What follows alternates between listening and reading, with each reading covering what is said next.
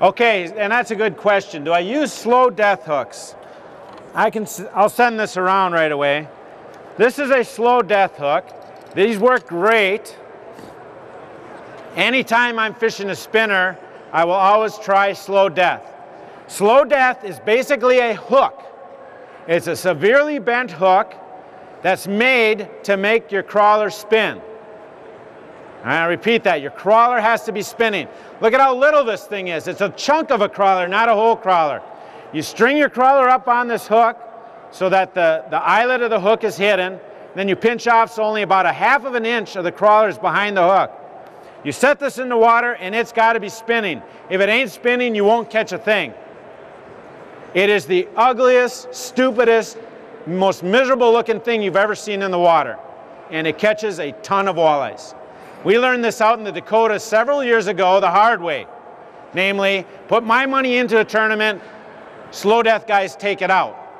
That's how we learned it. All right. After years, thankfully, we found out what they were doing. It is slow death. It is a deadly technique.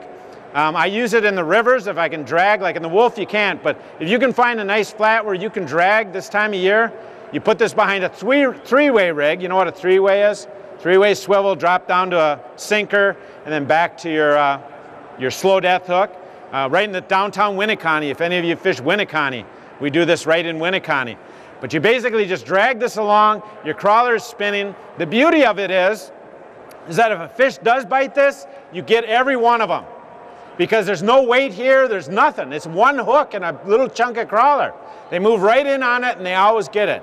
So it's a very deadly technique. You can use this, uh, like I said, early in the year. You can use it, remember I was talking about on those shallow flats with the split shot or light bottom bouncer? You can use it then instead of a spinner. And you can use it in the summer for suspended fish. Any time of year this works, it will catch everything. If there's perch in there, white bass, walleyes, pike, anything you can think of, this is going to catch. It is just deadly, but you got to get it spinning. Got to get it spinning.